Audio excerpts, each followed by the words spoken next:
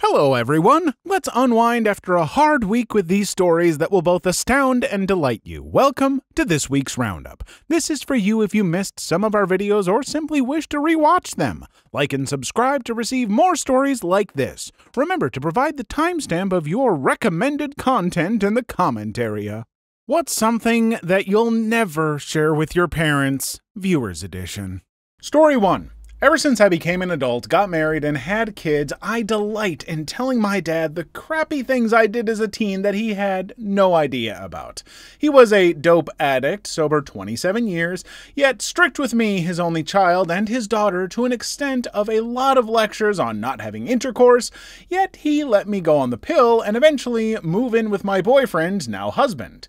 So explaining to him how at 12 my cousin and I could sneak out of grandma's house at 3 a.m. to go down to the local local Ar- Arco station and bribe adults into buying us beer? Funny as hell! Especially because I was relatively the quiet good girl, and my sister, same mom, different dads, was in juvenile hall before she turned 14. I was the good kid he didn't worry about.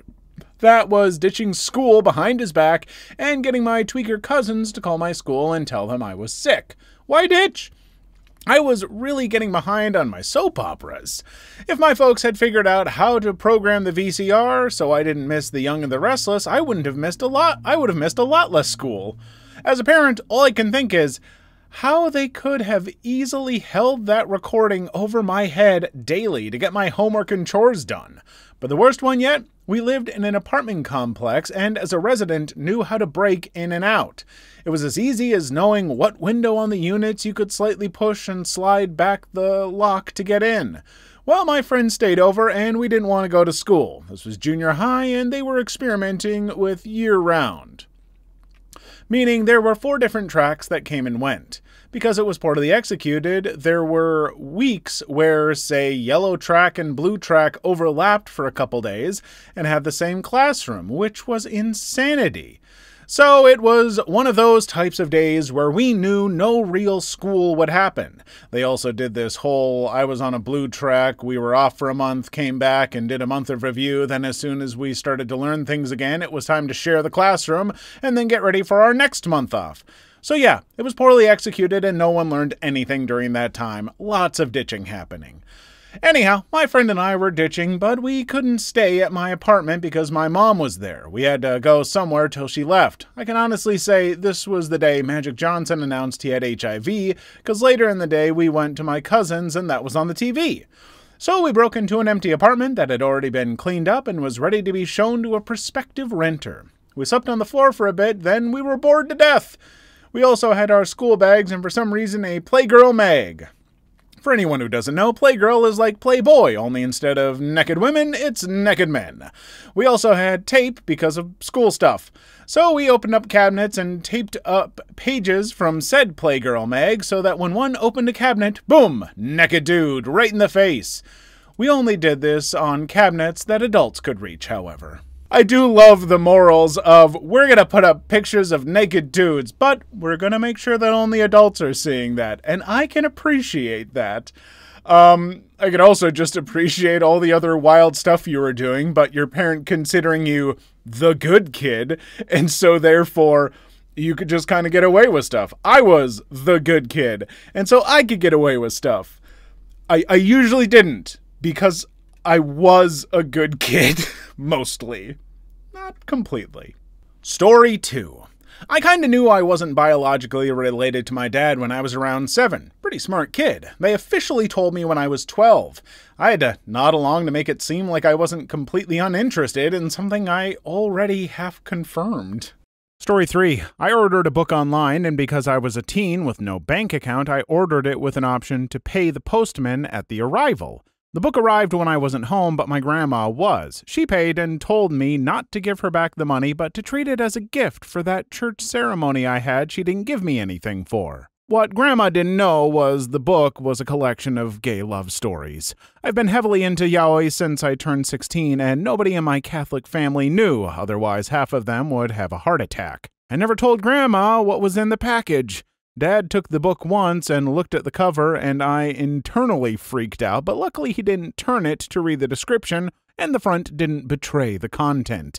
Dad still doesn't know, but my mom does. Story 4. I've got something similar to the last story. About halfway through my CS degree in college, I wanted to get into PC gaming. I was big into gaming and always loathed that my office desktop wasn't powerful enough for much.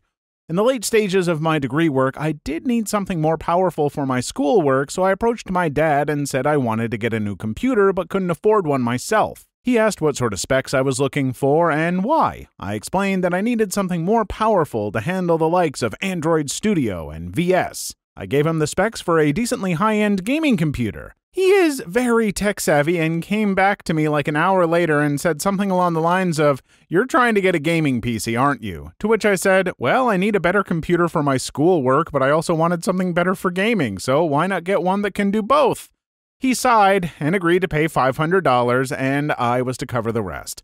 I got an $1,100 mid to high end gaming computer and was happy. Honestly, needing a powerful computer is such a wonderful gift because it can also very easily become a gaming computer. Sure, you need it for 3D modeling or for programming or this or that. Or in my case, I needed a powerful one for video editing and stuff like that. And it's like, well, if my computer needs to be powerful and have good graphics for video editing, might as well be good for gaming too.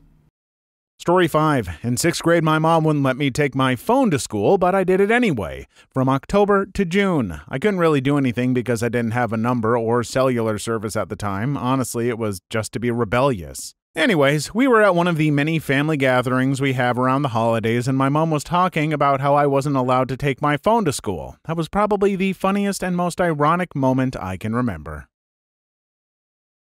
Story 6. Back in the 90s, my dad actually got arrested at least once, either driving away from the police while drunk or DUI, and he never told his parents about that incident. Even when his dad passed, he never told them a single detail.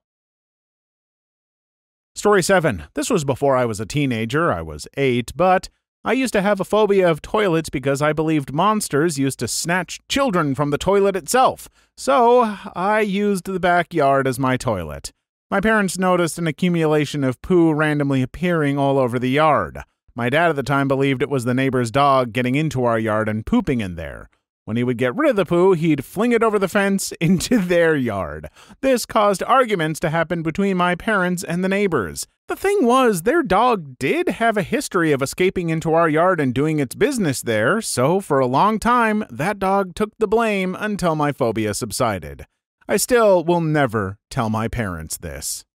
Okay, I have to ask was your phobia of toilets because of some old VHS tape back when horror movies just had weird little puppet monsters all the time? And I think it might have been like critters or critters adjacent.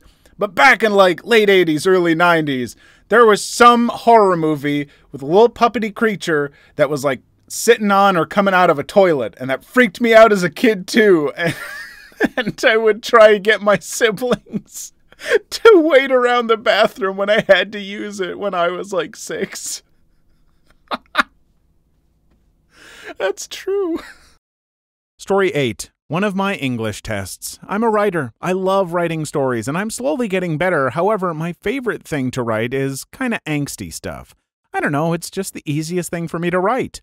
So, in one of our English tests, we were given a story about two bullies and had to rewrite a part from another perspective. I chose to write from the perspective of the kid who was getting bullied and wrote about her depression, fear, difficulties at home, and finally, her self termination pretty detailed. I don't want to show that to my dad. Might not be as spectacular as all the drug or sneaking out stories, but I don't do drugs and never really tried sneaking out either. Worst I did was take some of my dad's ALC and obviously drink it, or staying at school during random crap with my friends instead of going home, but who hasn't?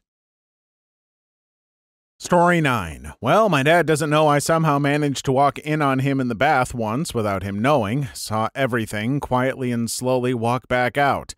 If you can't fake parent signatures, just trace them like I used to. Works a treat. The correct response when your dad says bloody teenagers when he sees the smiley face you spray painted in the road directly outside your own house is, yeah, kids these days don't have anything better to do. He still doesn't know. Story 10. I brought my dad a permission slip at the beginning of middle school, and he said, You should just sign it yourself so you don't need to bother with learning my signature. I rejected his offer because I'm a good boy. So, yeah, pro tip just sign everything yourself from the beginning. Okay, that's a pretty good gamble and it's pretty smart, unless your dad eventually goes to like a parent teacher conference and the teacher's just like, now, this is a slip that you sign, and the dad's like, that's not my signature, and suddenly unravels your whole web, and then you're in a whole bunch of trouble. Or maybe you get, you know, maybe your dad's a spy and appreciates it. I don't know, but I doubt the story ends that well.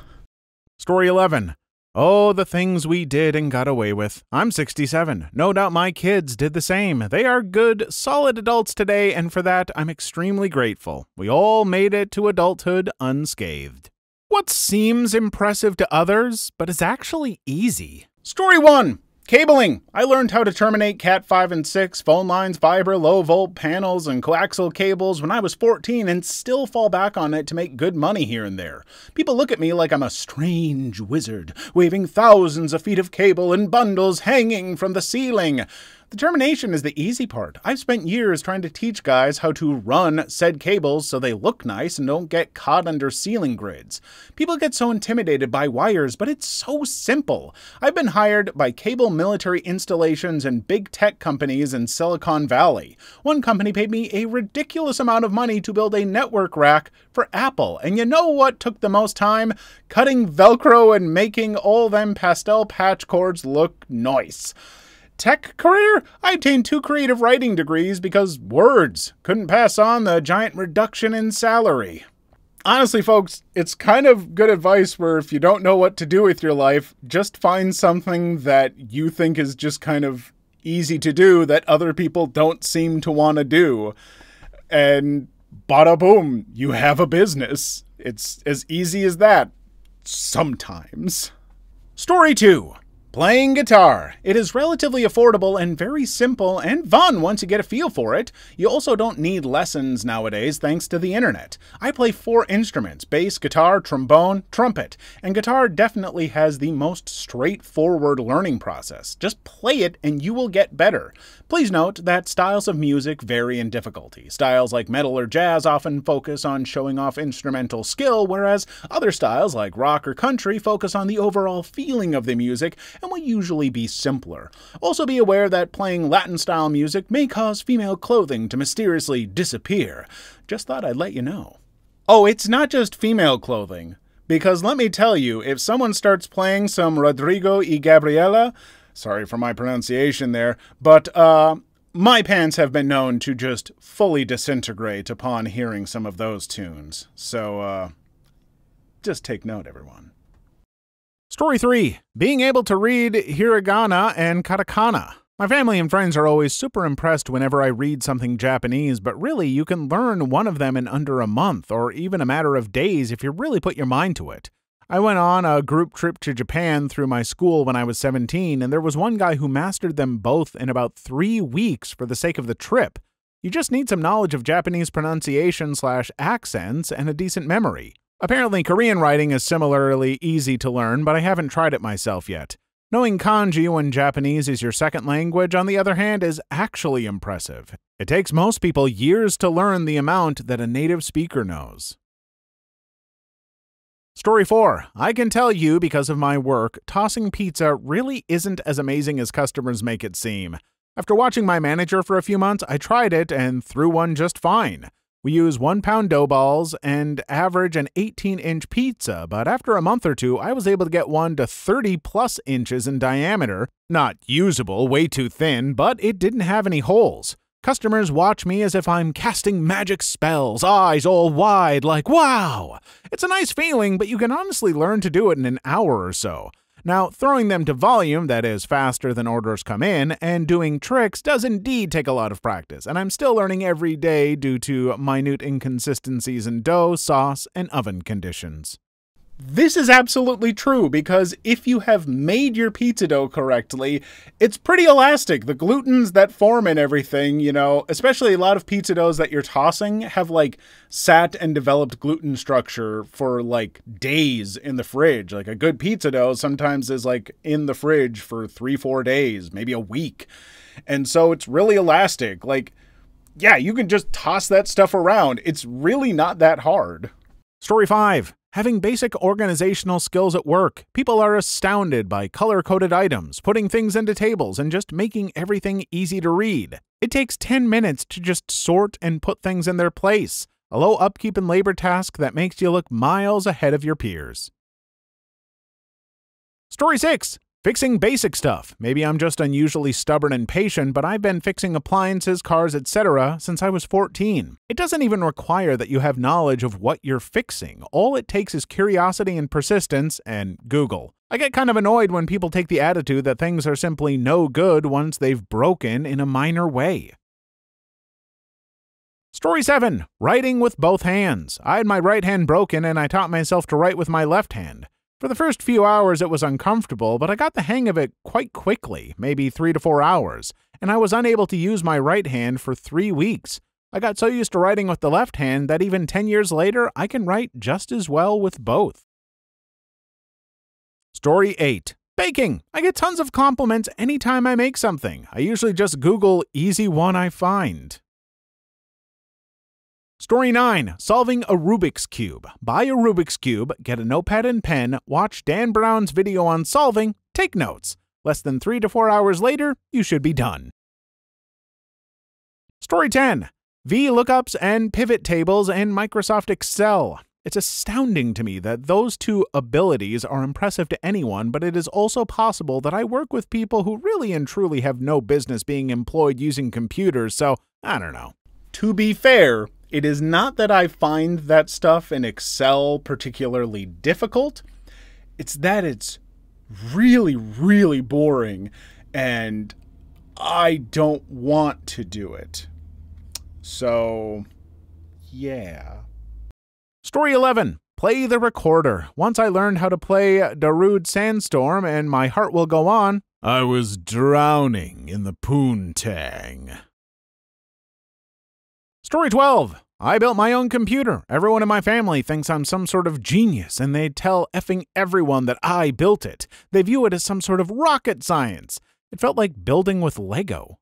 Alright, but there are sometimes like things that you need to look up, like, you know, oh, will this processor work with this motherboard, and what type of RAM is best for what I want the system to do, and there are certain quirks, still not that hard. You just have to look the stuff online and kind of reference it and people have done the work for you, but it's a little more complicated than Lego. Like actually just sitting and putting the stuff together in the end, not bad. But knowing what stuff you can put together, a little bit harder. Story 13. In high school, my friend and I learned the Russian alphabet. You could memorize it in a day, and we would write English words but use Russian letters. We would pass notes around and write in Russian, and people would find them and be like, the F is this? Story 14 People in my office are impressed with my ability to solve IT related issues. I just know how to Google things properly. Story 15 Finding whatever you want to watch for free online. Story 16 Play the piano, just gotta do it a bunch of times. And by that, I mean with weekly lessons for an hour a day for 20 years. Story 17 I know juggling isn't that impressive, but it's not hard to learn at all. Oh, God, weirder. Huh. Guess they're right. Ah! Oh, one more try, and then you'll just have to use the best one. Whatever.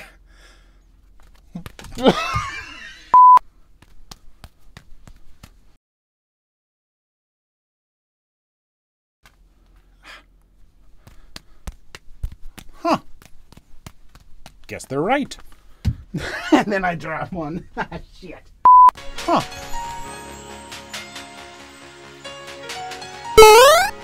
They were. Ah! huh. Guess they're right. Story 18. Programming, apparently. People seem to think I write programs in binary for some reason. Story 19. Learning to cook. Have a few great recipes up your sleeve and practice till perfect. Everyone will be impressed. Story 20 Opening a beer bottle using a lighter. Story 21 Basic Computer Skills The Eternal Struggle of the Family Tech Guy. Story 22 To be a good listener, not many people are good at it. What's the rudest question you've ever received? Content warning! Bigotry and body shaming is in this video, and it's from a bunch of sucky people, and we're gonna make fun of them, but also just have it in here so folks know stuff that they shouldn't say, in case you're wondering. Story 1 I'm white and my ex wife is black. Our kids are mixed, but differ a lot in shades of darkness. My oldest son is almost as dark as her, while my youngest daughter could pass for white. We were in the grocery store once, and we only had our daughter with us while my son was at preschool. My wife was at one end of the aisle with my daughter in the cart, and I was at the other end grabbing something. A very old lady, maybe in her 70s, came into the aisle on the same side as my wife and daughter, and she had a weird look of concern. I walked back over, and the old lady saw that we were together and started smiling in relief. As we walked away, she touched my arm and said, Are you happy with her? I didn't understand, so I asked her what she meant. She said, Oh, I just mean, is she a good nanny? Would you recommend her services? My daughter needs one. She's using a Latina woman now, but I told her the problem with those people is if she steals something, the police won't be able to find her. She probably has no records. Anyway, I think it's absolutely wonderful that you let her come shopping with your child. People gave me such insults for letting our nanny do that 50 years ago, but you know, times were different. To this day, I still crack up and I remember the look on my ex wife's face. I never knew eyes could get so wide. The funniest part about it was you couldn't even be mad because in that lady's mind, she was being very progressive.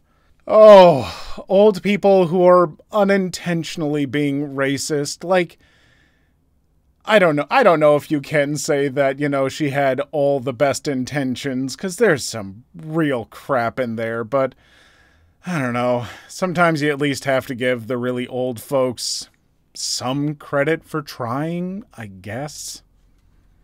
Story 2 Did your dad want a boy?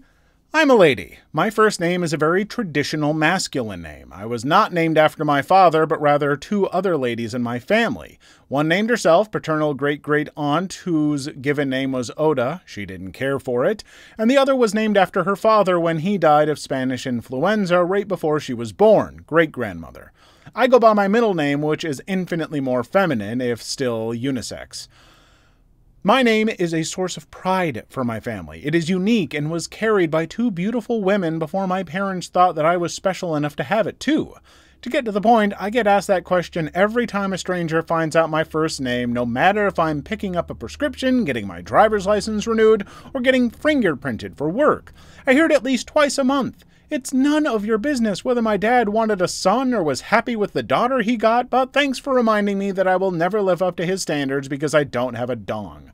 Thanks for reminding me that our family name will die because I'm a girl. Yes, he bloody wanted a boy, you dong, but that's not why my name is masculine. Like, yeah, don't ask people about their names like that. Like, at least that's just such a weird way to go about asking it. Like, oh, I don't usually hear that name uh, with uh, women and everything, you know, where did that come from? That's a nice way of asking. But just being like, you know, oh, did one of your parents not like you for the way you are? Tell me that. Like, a little bit of tact, just, just a smidgen of tact makes all the difference. Story 3. I was crashing with my brother and his wife for a mini vacation slash catch up visit since he had moved away. While I was there, he was still on duty, military, during the day, so I would help his wife around the house with stuff as she was in the last one to two months of pregnancy with my nephew at the time. At one point, she needed groceries, so I rode with her to help with any heavy lifting, etc. We went through as normal and got everything she needed, and while we were on the beer slash liquor aisle, I asked if I could hand her the cash for my beer and just tack it onto their total since she was paying with a card to save time. She obliged, I handed her the cash and then put a 30 pack of Bud in the car. We went to go check out, I'm unloading everything onto the conveyor belt and she's waiting to pay. I have no idea what possessed this freaking clerk. This late 20s to early 30s woman decided to go all high and mighty and blurted out while scanning the beer, You know, it's not wise to drink when you're pregnant. Jesus would be awfully disappointed. I was about to pipe up that it was mine, but before I could even utter a single word, my sister in law said, very flatly, It's not for me, it's for my partner, and she isn't pregnant. The look on the cashier's face was priceless. Your sister in law is awesome. Story 4. So, does she not put out, or just one of those women's lib types? I was calling about a job and had to go through a manager before I got to the main hiring person. The manager was a nice guy. We talked for a bit and he told me he could pass me on. Hiring person picks up and we start talking. Sounds a little old school douchey, but whatever. Then he gets to his personal life. Him. Just so you know, this is a very family oriented place. All of us have families and we consider it a very important thing. Me. That's good to hear. I'm actually engaged. We've been together about four years. Him. Oh, that's great. Got any kids? Maybe on the way? Me. Well, no, not yet. I was 21 at the time. Him. Oh, is she not putting out or just one of those women's lib types? I knew then what a blue screen of death felt like because I literally could not process what he'd said for at least a minute. He asked if I was still there, and I lost my mind. I'd been job hunting for months, been told all sorts of horrible things, been ignored, treated like crap, and I just had enough of it at that point. I unloaded on him and called the boss. He was also very nice. I told him that I had an issue with one of his managers. Without saying anything else, I heard on the other end, God damn it, Jeff. Jeff was, in fact, the hiring manager I talked to. God damn it, Jeff, indeed. Like, the fact that you didn't have to say anything beyond, like, you know, yeah, I said I had an issue with one of the managers, and the boss is immediately like, Jeff? Like, maybe Jeff is a bit of an issue that needs to be addressed. Story 5. During the early 90s, I was sporting quite a plumage of long rocker hair, and during the winter and spring ski season, I also grew quite a thick beard.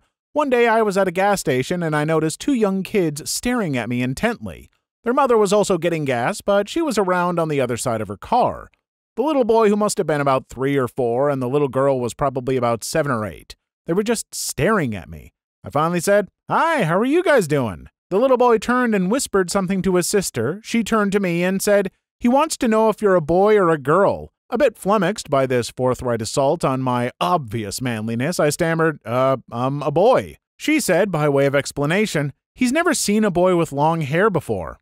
Well, some boys have long hair, I replied a bit defensively. I know, she said. I've seen lots of boys with long hair. Really? I replied. Where? Oh, places like the dump. And that little kid grew up to be Professor Oak.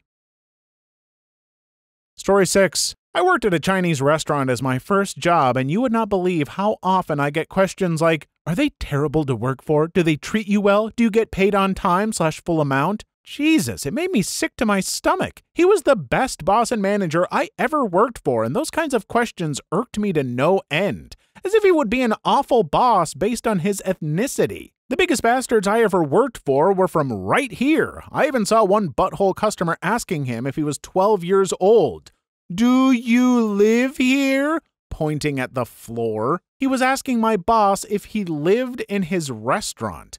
My boss replies, No, I don't live here. I have a house in X. Jesus. Beyond treating me like gold, he used to tell creepy guys right where to go if they were bothering me something that no other boss at a restaurant did for me.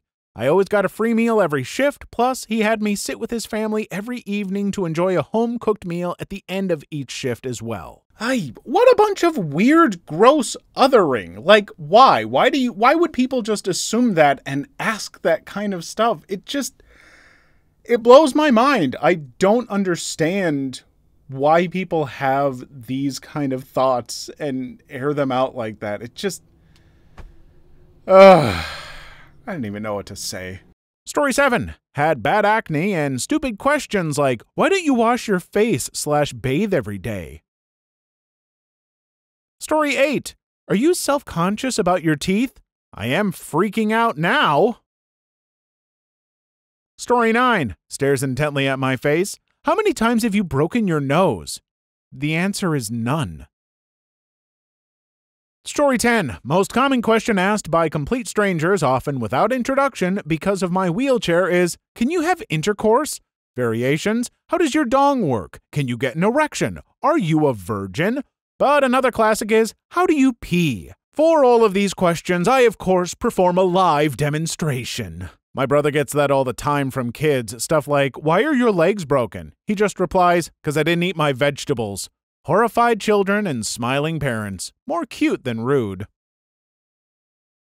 Story 11. I've been asked if the government gives me compensation for being legally a midget. I do not have dwarfism. I am just really short. Technically, you might qualify for what they're talking about. One of my aunts does, and same thing. Story 12. Are you sure that acne medicine is working? Story 13. How does it feel to be cheated on? By the friend of a girl I once dated. I didn't even know she was cheating. She might have been doing you a favor. What's the worst you have seen a prank or joke backfire? Story 1. I was smitten with this beauty in high school. She was going to call me from her friend's house one Friday evening so that we could make arrangements to hang out. She lived not too far from me in the mountains. I was home having dinner with my family when I got a call from her friend who wanted to chat for a little while before she arrived. During the conversation, she informs me that she's looking out the window and she just saw the girl I liked crash her car into a tree. She screams and hangs up the phone.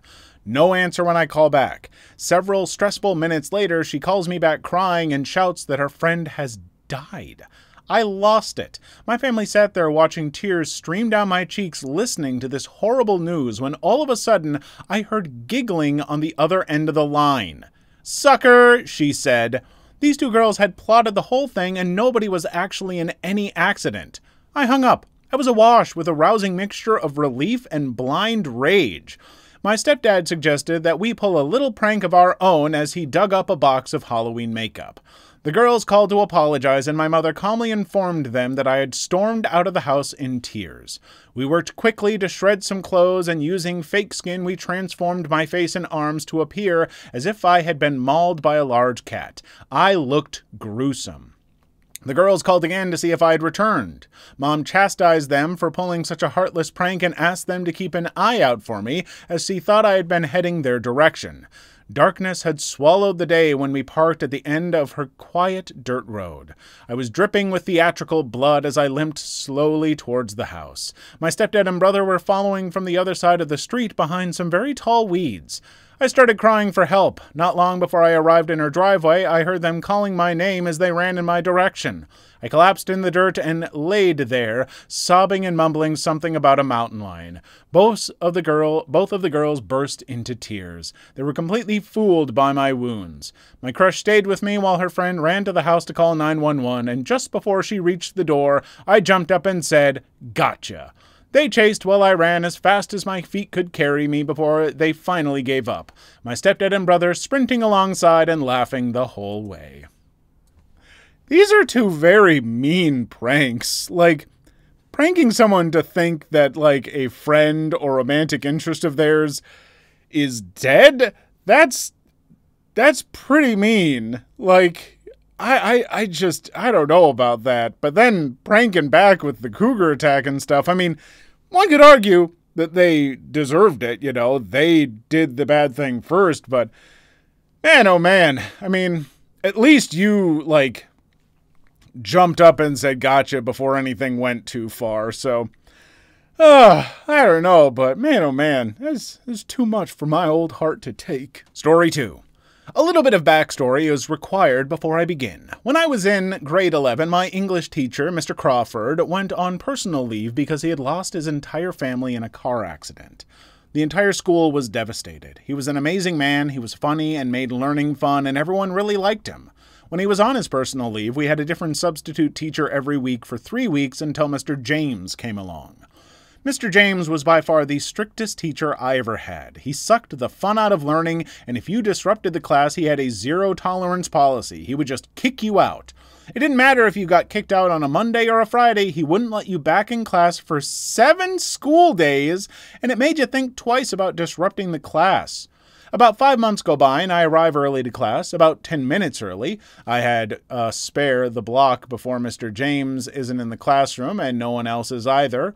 So I decided to unscrew the screws in his chair to cause it to collapse when he sits in it. It was a brilliant idea. He wouldn't have known who it was, and it would give the class a chance to laugh at the most hated teacher in the school. I go to sit down, and I wait patiently, and my fellow students begin to show up, but still no sign of Mr. James. I take out my PSP and get distracted playing it. Little did I know that Mr. Crawford was back today. Mr. Crawford enter- enters the classroom and everybody notices, but I'm too distracted playing my PSP game when my friend beside me says, Hey, make steak, Mr. Crawford's back. And before I can say otherwise, he sits down at his desk and his chair collapses beneath him. He ended up fracturing his wrist while falling. I have never felt so guilty in my life. The man had just lost his entire family in a car accident five months ago, and on his first day back to work, he fractured his wrist because of me. I am a fan of pranks if done right. I think that pranks can be fun, they can be. Uh, I, I shouldn't encourage revenge, but I mean, sometimes. No, don't. But I will say, I personally draw the line at any kind of prank that could physically injure somebody because a chair breaking like that, it could have ended even worse. It could have seriously hurt, maybe even killed someone. It's unlikely, I know, but any prank that has like a ch- a chance for something like that, a not wholly unreasonable chance, is not a prank that I think is necessarily worth it. Story 3. I live in England, and here it's widely expected that you buy drinks at the pub in rounds. Anyway, there was this one social circle at my local pub that regularly went there, and one guy became pretty infamous for always, and I mean always, dodging his round. Going to the gents' men's room, leaving early, forgetting his wallet were all common ways he'd avoid it.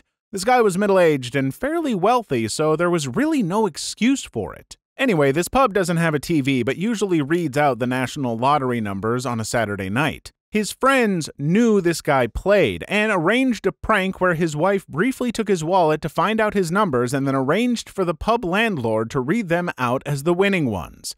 The point was to see whether, even when he had just become a millionaire, he'd still be too cheap to buy everyone a drink. They were all really excited about this, and every regular at the pub knew it was going to happen, so there was an unusually big crowd that night. Eventually, the time for the lottery numbers comes round, they get read out, and we all watch the growing look of realization in his face. He opens his wallet, gets out his ticket, and stares at it for like a minute without any emotional reaction whatsoever. The guy then turns to his wife completely stoically and says, I've been having an affair with your sister for the last four years. You can keep the car and the house. He hands her the keys and strolls out the pub. Supposedly, she never heard from him again. She had to get divorced with him in absentia. The last my friends heard was that he moved to Australia. Okay, I mean, what an absolutely awful way for that wife to have to find out. Like, that's you know, a embarrassing for her. It shouldn't be, but I know it would be surrounded by all those people and stuff. But also, what a good way to get a scumbag to reveal himself and get her out of that marriage because she deserves better. And I hope that that jackbutt is miserable, you know, in Australia or whatever, or has at least learned a lesson and is trying to better himself. Story 4 Put a bowl of wet, cold spaghetti propped up over my little brother's bedroom door so it would fall on him when he opened it. Hour or two later, I heard the crash, ran down the hall to find my big dumb dog happily covered in surprise spaghetti. Story 5 Find dead pigeons, put it on a classmate's desk. Classmate opens the desk, pigeon flies away. Story 6 Not really the worst, but funny. I was about five years old. I thought it would be funny to sneak up on my dad and try to scare him, so I waited outside his bedroom door. Five year olds have no stealth, so he knew what I was doing. I'm poised and ready to spring, and my adrenaline is going up. I'm totally ready to scare him. Suddenly, my dad jumps out and says, Boo! I crapped my pants and started screaming. We both lost that game. Story 7 Unfortunately, slash fortunately, this wasn't my prank. A bunch of us were at a house party where we were all younger. Most of us got pretty drunk and decided to sleep over. As we all end up passing out, Buddy decides to take a habanero pepper and rub the juice on our hands along the thumb and forefinger, so when we woke up and rubbed our eyes, we have a rough wake up. Somehow, in the process, he gets a seed stuck in his eyelid. He was not a smart man. We all wake up to him screaming in pain, and in our drunken stupor, we all rub our eyes, causing even more screaming. I still feel bad for the neighbors. Story 8. We had a senior basketball game at our school against a rival school that was out in the boondock. We'd always make fun of them for being chicken farmer hicks, and they'd make fun of us for being uppity city folk. So, my buddy gets his hands on five chickens. He puts paper signs on them with the names and numbers of the guys from the other team. He brought the crates to the upper office in the gym that had access to the rafters. He waited until just before halftime and then released all five chickens from the rafters, thinking they'll fly all over and create havoc. What he doesn't know is that chickens don't fly very well. All five of them plummeted the 50 feet or so to the gym floor as the seconds ticked away in the first half. All five of the chickens either died or were horribly crippled afterwards. They just kind of flopped around on the ground while everyone looked bewildered as to what the F was going on. Oh, the horror. He got suspended for a week. What are some double standards that don't involve gender? Story 1. In my freshman ELA class, our teacher put my best friend and me next to each other. This was a teacher who was very monotone, like it was never interesting to go to her class. I was trying to be a good student, but one day she yelled at me for a dumb reason I can't recall. This teacher also really liked my friend. So we decided how double standard she was. She had a strict policy of not putting your head down in her class, which is dang near impossible to do. She would just randomly tell us to read from our library books when she didn't feel like teaching. With this knowledge, me and my friend decided to put her to the test. Recall, we are right next to each other. We both, in the exact same way, put our heads down on our arms. She walked around the opposite side of the classroom, thinking we wouldn't see her. She finally showed up behind us. That's when she tapped on my desk, stood in awkward eye contact and silence, and said, Keep your head up and read very sternly. After this, she walked away. Within a second or two, my friend and I died of laughter as she turned around and yelled at us for talking during reading time.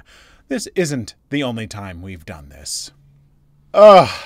Teachers having, like, really obvious preferences for certain students does bug me. Like, everyone's human. You're going to obviously like certain people more than you like other people.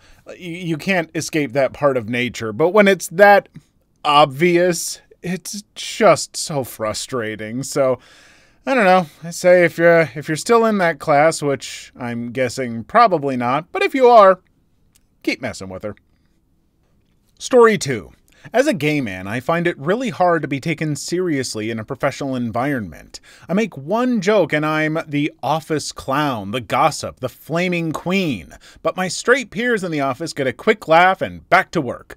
I've noticed it everywhere I work. People apply this expectation that gay men are there for comic relief. This can be advantageous at times, but when you're actually trying to get a valid work point across, it can be infuriating. There's been times where I felt I could be listing Holocaust victims and people would be cackling telling me I'm too much because that's all they know slash have seen of how to interact with homosexuals, particularly homosexual men. I've read a I've reached a point where I stay as quiet as possible in working environments unless addressing work head on. I think this is because of Hollywood. The way Hollywood portrays gay men is horrible. They are always very flamboyant and are pretty much only given comedy roles. You almost never see gay characters that have serious roles in TV shows or movies. I think it has a serious effect on how people perceive gay people. I'll say, I think this has been getting better as time has gone on. We've seen a lot just, you know, better representation and not this one specified kind. But it absolutely still is a thing. Um, it's carried over, especially from the 90s and early 2000s, where shows were trying to be like, hey, we support gay people, but also the butt of so many jokes and like sitcoms and stuff was basically, this person is gay. Ha ha ha ha ha ha. Like that was the whole thing. And yeah, like the flamboyant stereotypes, I know flamboyant gay guys, they're wonderful. I know gay guys who are just absolutely stoic and serious and like woodworking and stuff. That people come in all shapes and sizes, and it sucks when you get pigeonholed like that. Story 3 Charities for kids get funding. Clean water for kids, clothes for kids, food for kids, AirPods for kids, but try to get funding for adults. Kids are seen as innocent, but adults just need to stop being lazy and get a job.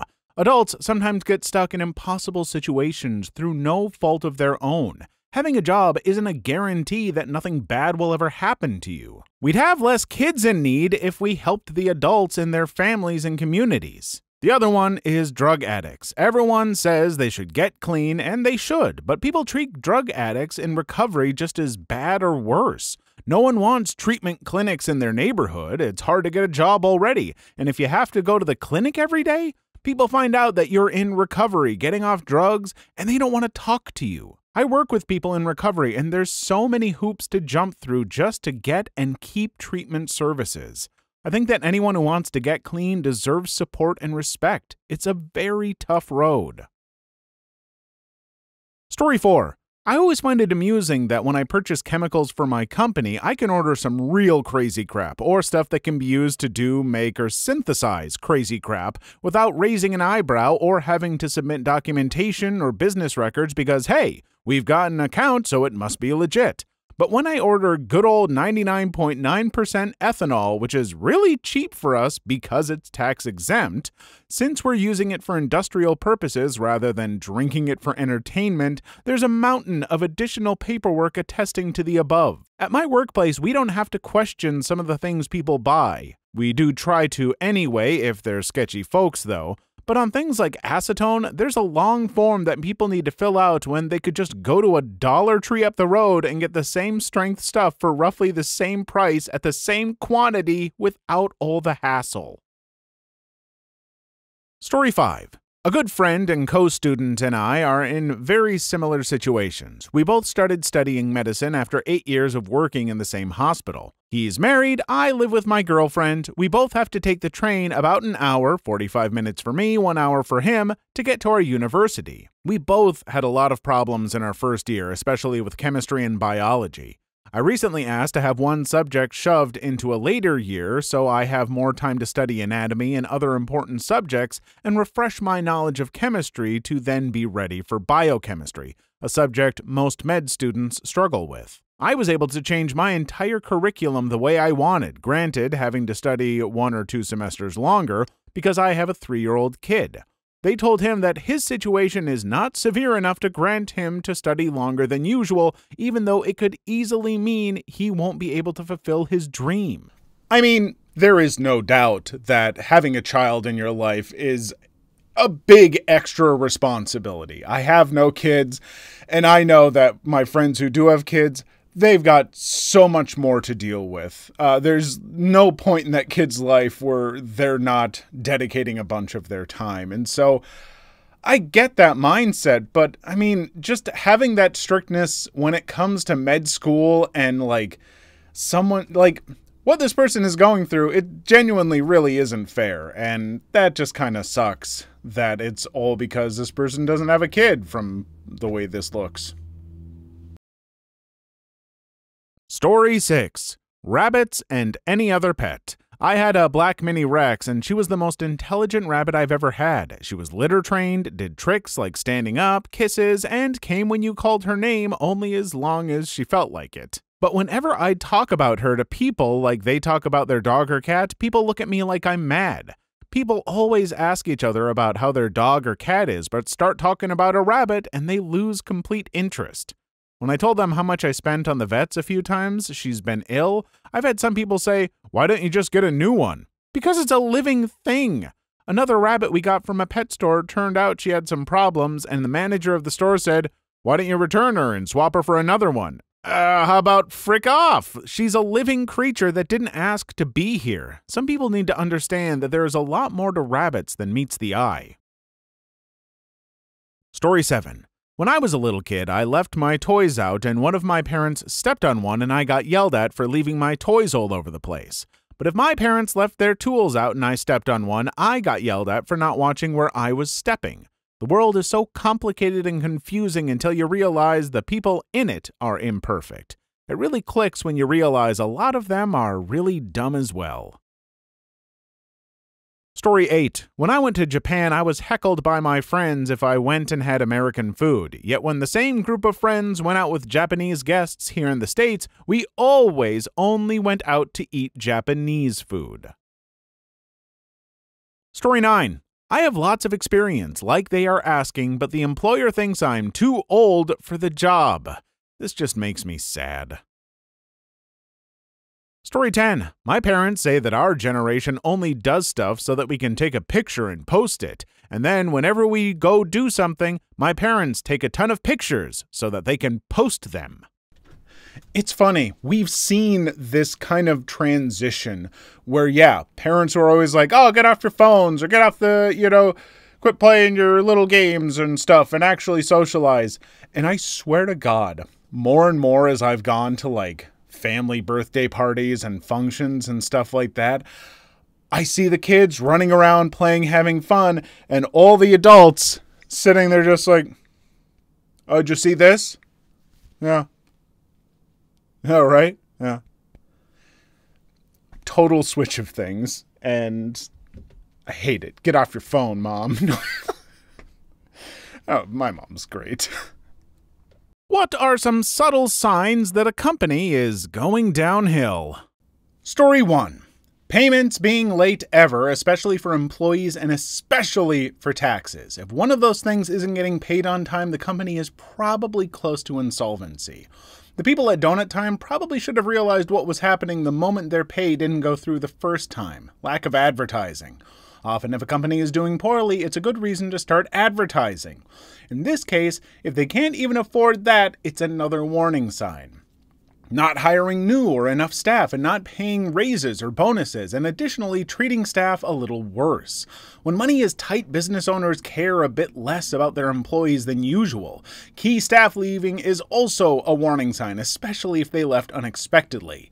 Any cost saving measures that go beyond what people would consider efficient or normal are also some warning signs not spending money to expand or to fix things that need fixing, those run-down businesses with holes in the walls and dirty windows that have been there for months or more are often not doing too well. Perhaps if the leaders uh, if the leadership are public as well, if they are having public breakdowns or exhibiting erratic behavior, that can often be a telltale sign that something is wrong with their companies. Likewise, if your owners or leaders are usually in the office but have been out of office regularly and haven't given a clear indication why, that could be a sign that they are meeting with financiers, creditors, insolvency practitioners, or lawyers. Then, of course, if you have access to financial information, their liquidity ratios and their creditor relationships are big hints. Yeah, I feel like some of this is, uh, you know, fairly obvious, but there are those smaller telltale signs. Like, you know, they say, you know, having those public breakdowns or just not being around when your bosses are suddenly like gone more and more and they're not saying why, or when higher up leadership just starts leaving positions, especially if they leave positions for jobs that don't sound as good. There's probably a reason for that.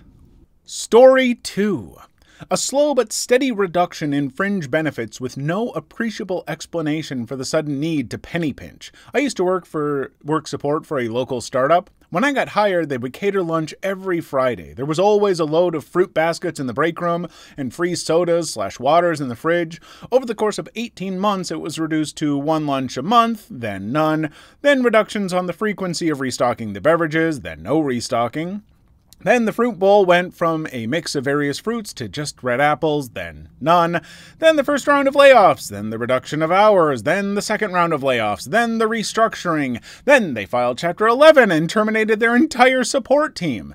Now compare that to another place I worked that had very similar benefits. One day it was announced that we were going through an acquisition process, and as part of that, certain financial obligations had to be made so budgetary restrictions were put in place and the fringe benefits were reduced accordingly. Over the next six months or so, most of them returned. Some that weren't really being used as much were rolled into other benefits where they would see more use. I'll tell you right now, I love workplaces that do provide uh, really nice daily benefits for employees, like free food and beverages and stuff like that. A thing I will say that you should watch out for, though, are startups that do this and that do it like where it's like, wow, you guys are really giving a lot. Startups aren't always run by people with, you know, the best minds for business. They might really want the the best for their employees. They might be trying to, you know, trying to offer their employees as much as possible and treat them great. But if they don't know how to run a business and they're offering all this extra stuff at cost to themselves without a proven record, that's that's a bad sign that a startup in the beginning might be going in the wrong direction. I, I think that companies should get to that place and should offer that stuff, but you know, be reasonable at first and figure out what you can manage. You know that we could go on uh, like this a lot. Just be careful of startups. Story three: Temporary fixes become permanent features. If something breaks and still hasn't been fully repaired or replaced within two months, it's a sign that the economy is not healthy. If purchasing stops for consumables or quality suddenly deteriorates. Not the stuff that goes into the product itself, but basically anything to do with maintaining quality or safety. No rubber gloves appearing for two weeks, or the cheapest single ply toilet paper in the restrooms. Suddenly, you're using a new and worse detergent, stuff like that you know you're circling the drain when they start making cuts that directly affect the end product. Brand goods being replaced by generic, attempts to shave a bit of expenses by swapping out the quality stuff with fillers. If you notice long timers starting to disappear by now, it's a sign that you too should start sending out your resume. Next, you suddenly run out of stock. Stuff gets delayed. You suddenly find out that suppliers aren't showing up because bills have gone unpaid. By now, it's just a matter of time before your paycheck will bounce one day. Bankruptcy is months away at best because the only customers left are the long timers who haven't found a better option. Story 4. There are many. Abrupt reduction in days or hours the business is open. Change in the quantity slash quality of goods being ordered. Change in yearly adjusted cost of living or raises. First item on the list the company I was working for changed from a seven day open for business schedule down to five days out of the blue. Satellite stores started getting closed soon after. Second item company had overextended itself on its line of credit as it had overestimated demand. Now it is stuck with goods it can't sell and bills it can't pay. To cover this, they buy cheaper goods to try to generate revenue, but it's a sunk cost fallacy situation. Third, company is renowned for treating its workers well. All year they tell you how they're landing larger accounts, and they are. Historically, after reviews were completed, a cost of living and a raise was given out to all employees like clockwork and without fail for over a decade. Not that year. All employees only got a cost of living adjustment, no raises. Turns out the company was sold. Layoffs occurred soon after. Story 5. One of the more subtle clues I've discovered is when a business starts posting new job offers at lower wages than before. I worked at a very large company that had quite a bit of turnover due to the seasonal nature of the job, would expand significantly in the summer, shrink around winter. So having rounds of hires and layoffs wasn't that unusual. I was fortunate enough to be in the minority of employees kept year round, but one summer an eagle eyed coworker noticed that the job was being posted for much less hourly wage than the year previous. He bailed immediately. I wasn't planning on bailing myself, didn't think too much about it, and instead planned to stick around and see how it goes. But my coworker put in a really good word for me at his new place, a place that was 30 minutes closer and paid more, so I eventually followed. He had the right idea. After that summer, the department closed completely, leaving dozens of my former coworkers in limbo. I was glad I got out early when the industry was in a summer hiring trend. Yeah, when you see businesses start to post like jobs within your department, your position, whatever you want to call it, and they're suddenly offering like less than you got brought on for or like you know you've been there for 10 years and they're offering it at like the same rate that you were being offered stuff like that it kind of looks bad and it could either mean that something's bad might be coming down for the company or it could mean that they're going to try and replace you. And, you know, maybe not. Maybe that's not what's happening. But I've known enough people to where that's happened to them where it should be a bit of a red flag. Story 6 When the best managers start quitting, especially the ones that have been there a long term. Also, when they get ridiculously stingy, like refusing to replace pens and paper clips. Story 7. My experience is that everything becomes about cost. Late from lunch? That's an extra cost. Spending longer than expected fixing something? That's an extra cost. It's an old job where I was eventually shown the door due to company financial failures. I was actually banned from going on customer site visits for a month because it was deemed by the boss that I was spending far too much time out of the office at customer sites and my mileage bill was too high. My job title? Field Engineer. Story 8 Hospitality here when either or all of these happen. 1. Understaffed. Not just normal understaffing that you find in most places, but where there is literally one or two people covering way more than seems normal. 2. Start replacing ingredients in their drinks and meals. Try to squeeze more margin usually leads to lower quality product. 3. Lots of deals. When there's a 2 for 1 or 50% off on multiple days of the week. One and two are the biggest red flags. A lot of places in my experience have done both of these, and it's always a bad move. You go to a restaurant or bar for good products and good service. If a place starts to cut back on one or, God forbid, both of these, it will lead to a downward spiral in the business. Source General Manager of a bar slash restaurant. Oh, the replacing ingredients in like drinks and meals for like a restaurant or a bar, stuff like that you see it happen so many times and it's all so many people want to start bars and restaurants. I want to. I have an idea. Oh, it'd be a tavern style uh, restaurant. It'd have big booths for uh, people to play titter pigs, TTRPGs, stuff like that. Oh, it'd be amazing. Um, but I wouldn't because that kind of stuff is very, very hard. And a lot of these restaurants, there's so many things that go into that stuff. But if you start reducing the quality of the food and stuff that you're serving, it's not going to help you make more money. You'll save money in the cost of your ingredients and you will lose money because you are going to have less customers. It it's not going to pay off. You need to reduce how many things you're offering stuff. Yeah, just watch an episode of like what is it? The Kitchen Nightmares or whatever with Gordon Ramsay He's going to yell at people a whole lot. It's it's really grating at times, but you know, he's right a lot. So, uh, I have I have this unspoken desire to start beef with Gordon Ramsay, even though I don't. I don't. The super angry bit, I don't like it that much. Like I don't know, it just wears on me after a while. He's like, "You donkey, it's it's wrong." Like it just frustrates me. I think he's a talented chef. I think his shares in Hexclad and shilling for that stuff kind of sucks. But even though the part of the internet that I occupy and the part he occupies don't cross at all, I still just want to start beef with him and get him mad at me. Which is, I admit, a weird aspiration to have, but Come at me, Gordon.